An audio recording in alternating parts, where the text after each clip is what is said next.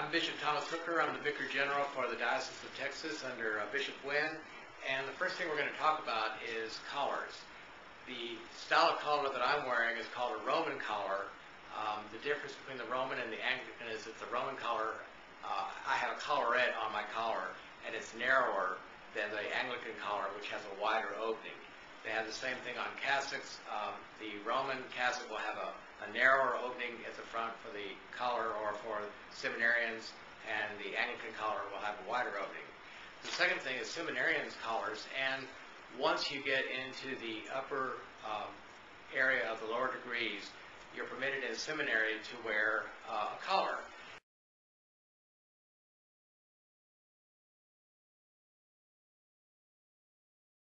The shirt you can use either like I have, you can wear a shirt without a collarette on it, um, you can wear just a plain collar, but for seminarians they have a black stripe going down the center of the collar.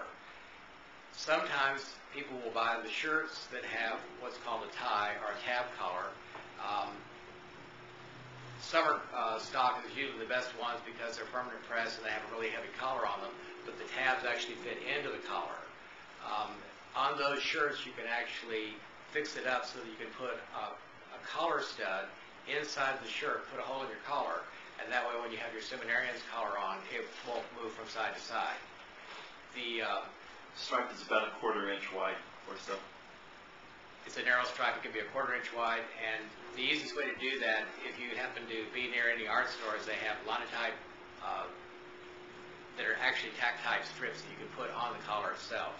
Or if you're an artist, you can always draw it on with a rapidograph or something like that. How about black electrical tape?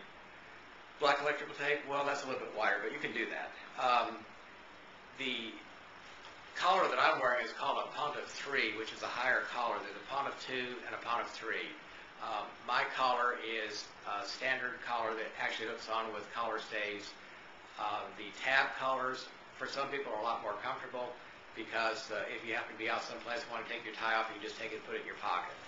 The um, difference between the Roman and the Anglican, of course, again, is going to be the opening on the front. And mine, as I said, is a Roman-style collar because the opening uh, around the uh, collarette is narrower than it would be on the Anglican collar.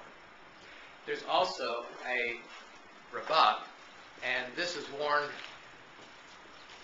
any number of things can be done, like if a priest has to be out on, a, on an emergency and has to get out, he's wearing the regular clothing, he can put a rabat on. Some places you may have to call it a rabbit because they may not know that the correct pronunciation of R-A-B-A-T is rabat. But this collar actually hooks in the back and it has the black front on it so that if you're wearing another shirt, this will look like a collar, which is what it is. Um, sometimes the rabats will also have the, the black coating on it, um, like a collarette, but this is a, a regular rabat, and it's easy to wear. It's what uh, Bishop Wynn prefers wearing because it's most comfortable, and it doesn't require hardly any cleanup at all. It can be cleaned with soap and water. Uh, most of the collars can be cleaned with soap and water. Um, if they happen to get really old or if you happen to be using them a long time and the, the backs break, then you can always get more of them from any of the stores that sell them. And that's all I have on the collars.